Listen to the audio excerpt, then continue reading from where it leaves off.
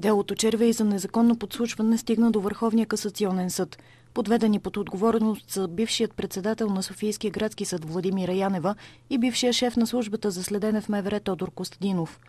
Янева беше осъдена на една година условно на първа инстанция и три месеца изпитателен срок заради това, че неправомерно е разрешавала прилагането на специални разузнавателни средства, много след изтичането на законно установения срок – Тодор Костадинов получи глоба от 3000 лева по същото дело. Апелативният съд потвърди наказанието на Янева на втора инстанция, но също така и наложи глоба от 1000 лева. До Върховния съд делото стига след като адвокатът на Янева обжалва наложените наказания.